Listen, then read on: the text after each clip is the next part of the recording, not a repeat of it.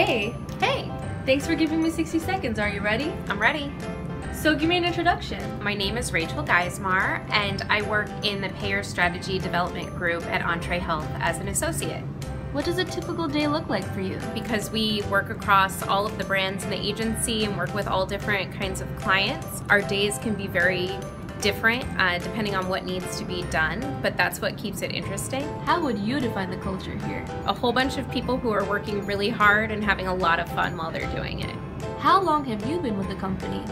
I've been with the company almost five years. My work anniversary is actually on Halloween. My first day, I walked into a costume party and I thought, this is a really fun place and these people are way into Halloween. Thank you so much for your time. Anytime. Enjoy the rest of your day. Thank you, you too.